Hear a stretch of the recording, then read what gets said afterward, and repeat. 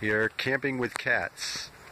Although we are now camping, we my previous videos have been uh, tent camping. We are now camping in a Class B RV, a 1997 Coach House 192 SD. SD stands, stands for side dinette. It's on a Ford E250 chassis.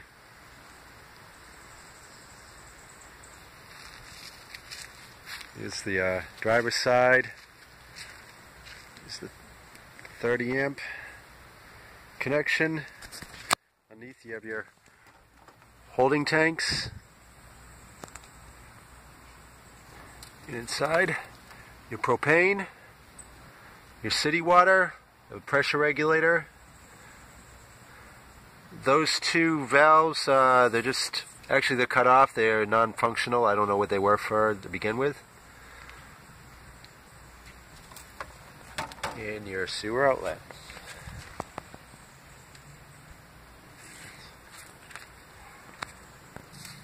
Here's the view from the back.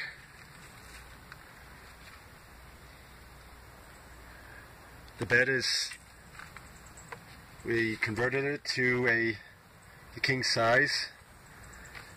It is uh, actually, it is more than six feet from front to back. It, is over six feet. Um, now to convert to a dinette, you would there is a middle panel taked out and the side dinette is on this side. Here's the view to the front. These lights is a 110 volt outlets, storage, get the AC and the fantastic fan, and a couple of closets. And I'll show you I'll show you the inside in a little bit. Now in the coach houses of this vintage, the generator is located underneath. It's an Onan 2.8. Oh, see if I can get that. It is in a funny place. And here's the uh, generator exhaust coming out there. And a class 3, is it class 3 receiver hitch? Correct me if I'm wrong. a, is it a four-way? It's a four-way connector. No brake control up front though, so would need a few extra accessories. Hot water heater. Here's your uh, water for uh, for your wa water for boondocking. It's an awning clip.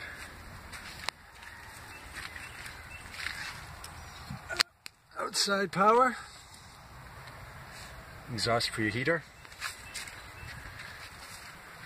Here's an awning. It, it, does work. I'll show it in another video. Have a Duotherm by Dometic. It's a low profile air conditioner. 13, I believe it's 13,500 BTUs. Here's Mikey, our van dwelling cat. He is acclimating well to it. I'll show you his bed in a little bit. Okay, in these coach houses, this is where the awning pole is. And I didn't know that the first time I opened the awning, I didn't even, I opened it with a uh, wrench, and I found this later on.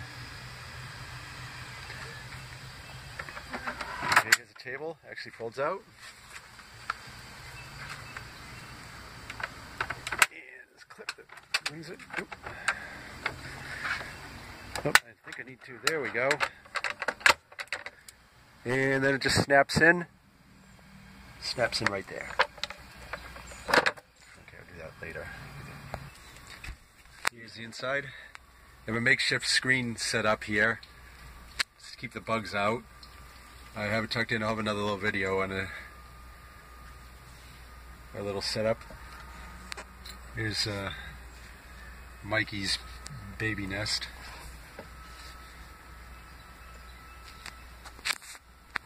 privacy curtain. Goes around. Microwave. Storage area. Another little storage cabinet.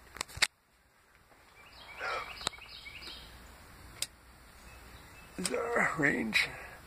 It's a water pump. Hood light. Doesn't work. It's our fan. Generator.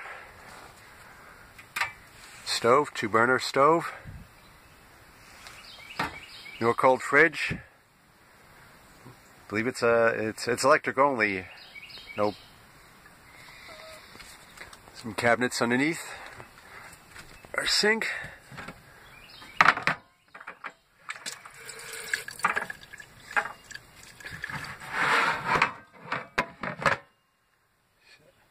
It's a 110 outlet. Lights. More cabinet storage. Paper towel holder. We removed the coffee maker. Uh, We did have it when we when we bought the van. We that was in there, but we removed it. The strap. This is neat here. Actually, can fit quite a bit there. It's a pantry. And when you're traveling, just push in this button and it locks it. Okay. let's count it. for storage cabinets is okay, fantastic fan, the AC, carbon monoxide detector. Oh, oops. Okay. Toilet. The shower, the shower curtain. Mm, Here's the water faucet, the faucet handles, and the shower hose.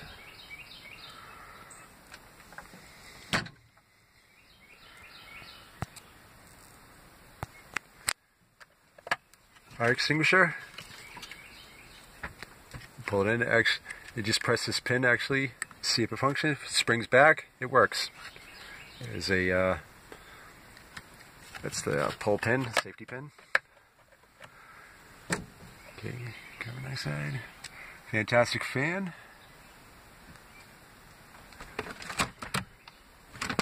Storage. This little desk. It's probably meant for like uh, one of the small TVs that they had made in the 90s before the uh, flat screens. Because right here, or perhaps in this drawer, this drawer, this little drawer there, is TV with a uh, 12 volt, 12 volt out- outlet, cable connector, the cable antenna.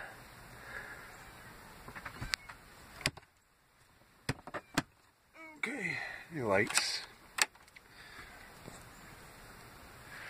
Got overhead light here. This actually runs off the uh, shore power only. The other ones run off 12 volt. And okay, you have some uh, front storage area. Front storage and light, smoke detector. And, uh, I guess that's about it. So, so thanks for watching.